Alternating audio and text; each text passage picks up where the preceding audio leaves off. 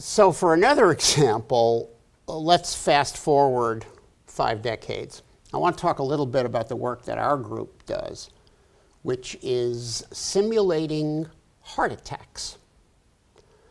So, first of all, let's talk a little bit about the heart. So, here's a 3D picture of your heart. And the heart contracts, and it contracts in a wave to shoot the blood either to the lungs or to the rest of the body. And the contraction happens in a wave. And the contraction happens because there's a previous wave of electrical activation of the cells. That's what you pick up on an electrocardiogram. And so the electrocardiogram is picking up the electrical activity. That's a voltage reading and the conduction of the electrical impulse in the heart, the wave of electrical activation that creates the wave of contraction, is a wave that passes from cell to cell. Each cell has a voltage, and it has currents, and it has sodium ions, and it has potassium ions, and all of that stuff. And there's a big differential equation that says that the change of voltage is a function of sodium and potassium, and the calculation, the uh, concentrations of sodium and potassium are in turn functions of voltage. And there's just a big differential equation that governs each cell. And then we take that cell and we multiply it by around 2 million to make 2 million grid points that make the solid heart. And then we use Euler's method to calculate what happens when an impulse comes down and the heart goes through a wave of electrical activation and therefore a wave of contraction.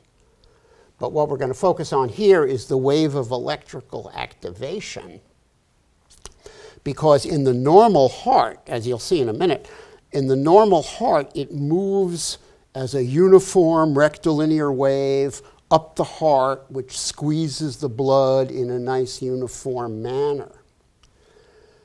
But what we're interested in is understanding the circumstances that lead to the condition called VF, which stands for ventricular fibrillation. And this is sudden cardiac death. This is the scene in, in ER when they yell clear and they shock the patient with the paddles. Um, this frenzied and irregular contraction is what happens in ventricular fibrillation and the nice uniform wave gives way to a completely disordered contraction, and that's what we want to understand the causes of. So we make this model. It has roughly 25 variables per cell times 2 million cells. That's a 50 million variable differential equation. But with modern computation, that's not a problem, and we can do it. And here's the result. So let's take a look at our simulation of what happens in ventricular fibrillation. We're showing you here a movie of that's a result of our computations in this 50 million variable differential equation and on top, we're showing you the whole heart. And then below, we're showing you six different leads of the electrocardiogram. So we start out with a normal beat. It activates the whole heart, and then it recovers from that beat. Nice and blue again. Here's a second beat, and if you follow the bouncing ball, you're about to see a bad beat. And there is the bad beat. And the bad beat now creates multiple waves. And the question, how did that bad beat happen and what is a bad beat, is an excellent question, and that's what we do research on. But now what you see is this disordered and frenzied, chaotic wave conduction has now taken over the heart. You see waves of excitation happening every which way.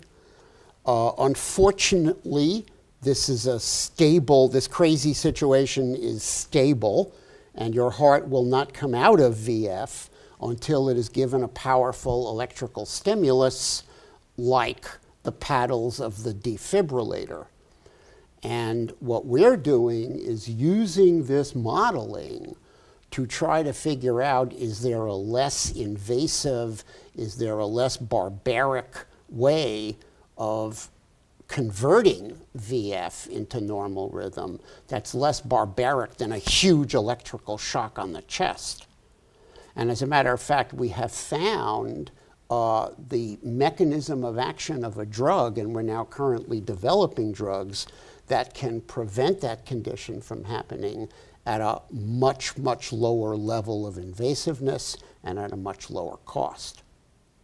And it's based upon understanding the mechanisms which we understand through this computer simulation.